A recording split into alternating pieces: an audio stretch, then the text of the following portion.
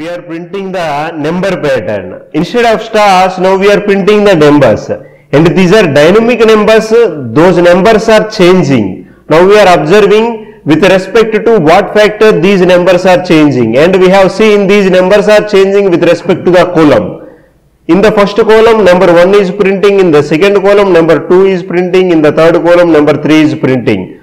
So every time we are printing the uh, column number.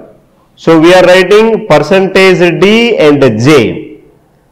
Initially we are giving the chance to the user to enter the number of rows. The number of rows are 4. The I value is initially the I value is 1. And we have seen the logic already. The 1 will be printed when the I is becoming 2, 1, 2 are printing.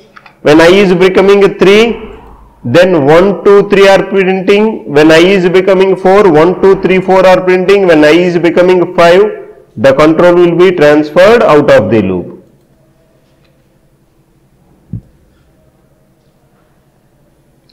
We are using the backslash n whenever the control is transferred from the inner loop to the outer loop,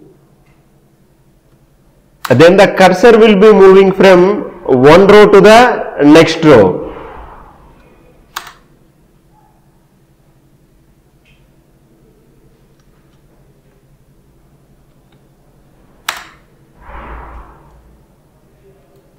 Here you can observe this is 1, 1, 2, 1, 2, 3 and 1, 2, 3, 4.